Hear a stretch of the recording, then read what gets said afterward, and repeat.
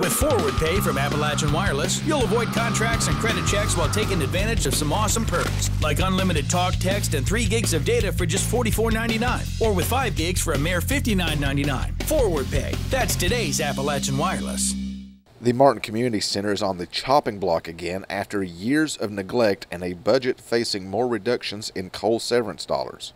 During Friday's regular meeting of the Floyd Fiscal Court, Judge Executive Ben Hale made the motion to seek out potential buyers for the property, saying that the county simply can no longer cover the expense. We don't really have the money to go back in there and try to take care of the repairs and the upkeep on this center. Now, I've talked with the city of Martin, and the city of Martin does not want the community center, so they do not want that.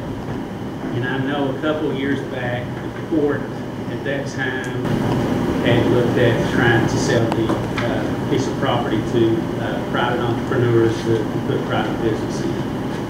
Um, I think probably at this time, we probably ought to entertain that ideal again.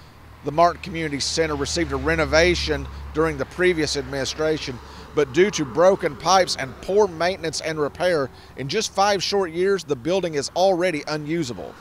It might have been because who they had it, uh, who was taking care of it at that time. So you know, you have to look into it. Uh, that's the problem when you lease something for a dollar a year. You don't have uh, you, you don't have to take care of something very well if you it's not going to cost you anything. So it's different if they if they was paying fifteen to twenty thousand dollars a year in a lease. I guarantee it would have been taken care of a little bit better. So all these things, the pipes freezing and all the things that happened before, and it caused uh, basically ruined the uh, the floor that uh, that they had put down back four or five years ago. It's a shame, but that's that's what's happened.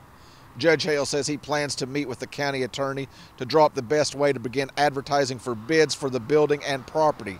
However, no decision will be final without the fiscal court's approval.